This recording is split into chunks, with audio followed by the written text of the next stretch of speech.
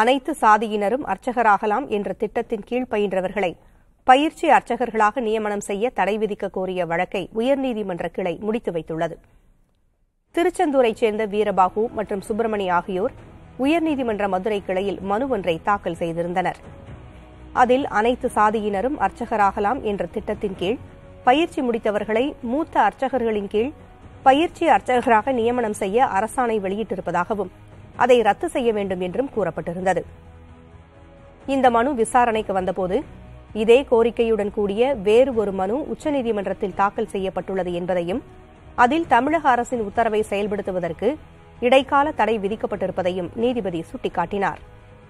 எனவே இந்த வழக்கிலும் உச்சநீதிமன்ற உத்தரவை பின்பற்றி தற்போதைய நிலை தொடர உத்தரவிட்டு வழக்கை நீதிபதி முடித்து வைத்தார்.